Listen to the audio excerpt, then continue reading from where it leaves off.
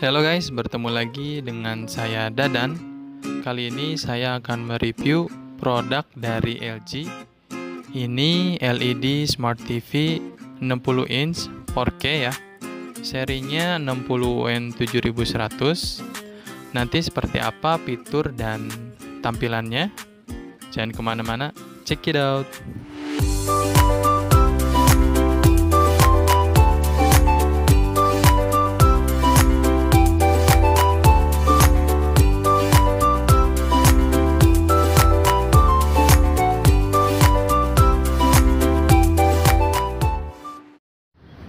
Oke, di depan saya sudah ada TV LG 60 inch. Tipenya 60N7100. Untuk seri ini resolusi gambarnya sudah Ultra HD atau 4K. Selain gambarnya yang jernih, artinya TV ini juga sudah bisa memutar video dengan resolusi gambar 2160 pixel.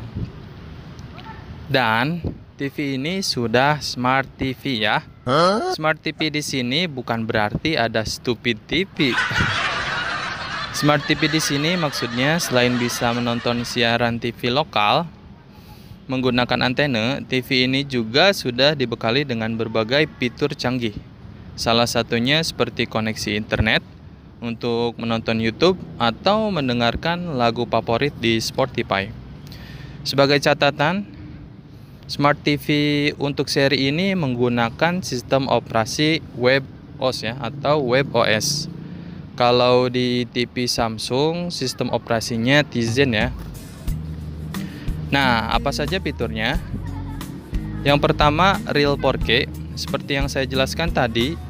Untuk resolusi gambar sudah UHD atau Ultra HD 4K ya kemudian dilengkapi dengan quad-core processor 4K yang berfungsi mengurangi noise pada video, menciptakan warna yang dinamis dengan kontras yang lebih tajam, dan melakukan upscaling ya, atau meningkatkan kualitas gambar yang resolusinya rendah sehingga ke 4K 4K-an.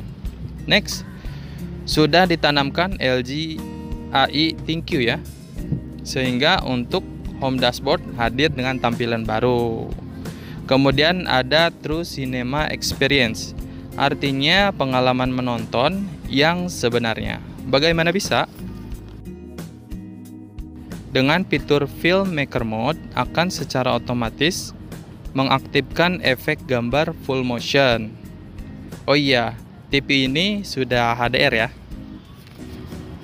Kemudian next, Unlimited entertainment.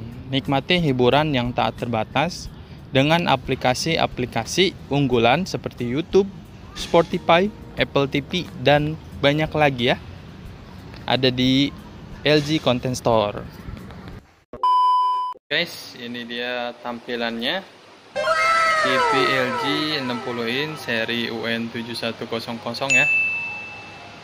Yang include di dalamnya remote baterai, kuku panduan, kartu garansi dan sepasang stand ya atau kaki. Nah, tampilan menunya seperti ini. Ada LG Content Store. Ini untuk mendownload aplikasi ya. Bisa di LG Content Store ini. Kemudian ini jajaran aplikasinya. Ada Netflix, YouTube, hbogo video.com masih banyak lagi ya nanti bisa download di App Store LG Content Store. Nah di sini ada juga untuk pemutar foto dan video ya. Dan ini pemutar musiknya. Nah di sebelah pojok kanan ini ada edit dan pengaturan. Edit ini untuk merubah tata letak uh, aplikasi Nah ini bisa kita atur mau YouTube-nya paling ujung kiri atau di tengah bisa ya dengan menggunakan menu edit ini. Kemudian di pojok sebelah kiri ini ada menu terkini. Nah ini untuk layanan TV. Nanti untuk berpindah ke TV bisa langsung di menu yang ini ya, tombol yang ini. Kemudian dashboard. Nah dashboard dashboardnya ini yang menggunakan ThinQ dari LG ya. Tampilannya seperti ini. Nah ini tampilan menu dashboard dari LG seri UN7100 mulai dari sebelah kiri ada AirPlay dan SoundShare kemudian ada inputan. Kemudian ada output suara. Bisa bluetooth juga ya menggunakan bluetooth kemudian ada penyimpanan. Bisa dari USB atau server media. Oke kembali lagi ke menu. Nah paling pojok ini pencarian ya. Bisa searching dari sini. Kemudian untuk pengaturannya sebelah sini ini untuk pengaturan akses cepat ya. Ada modus gambar modus suara keluaran suara waktu tidur. Nah ini kalau semisal kita ingin di timer TV nya biar otomatis off ya atau shutdown bisa lewat timer ini. Bisa dari 10 menit 20 menit sampai 4 jam ya kemudian ini jaringan untuk pengaturan internet ya. Dan ada menu semua pengaturan. Kita lihat semua pengaturan. Nah ini semua pengaturan ya. Ada di menu barnya di bagian kiri TV ada menu gambar, suara, program. Nah, program ini untuk pencarian channel.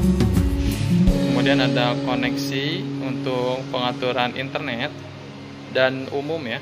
Di sini banyak di umum ada untuk bahasa, lokasi, waktu, keamanan dan pengaturan beranda. Kemudian ada aksesibilitas di sini dan pendukung. Oke, kita coba untuk koneksi internetnya ya. Pertama dari pengaturan pilih koneksi. Kemudian pengaturan koneksi jaringan. Nah, ini bisa dipilih kabel atau WiFi ya. Kalau semisal melalui WiFi, di sini pilih WiFi-nya, kemudian masukin password. Setelah itu sudah ya bisa menggunakan aplikasi-aplikasi yang tadi seperti YouTube, internet dan lain sebagainya. Kemudian untuk koneksi Bluetooth ini sudah sudah dilengkapi dengan Bluetooth juga. Nah, diaksesnya dari suara, kemudian Bluetooth.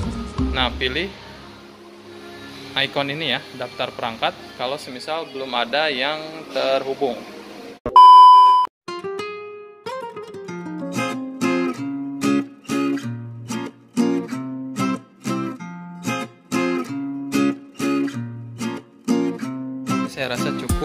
Review singkat dari LG TV 60 UN7100 terima kasih sudah menonton. Jangan lupa like, komen, dan subscribe. Sampai jumpa di video selanjutnya.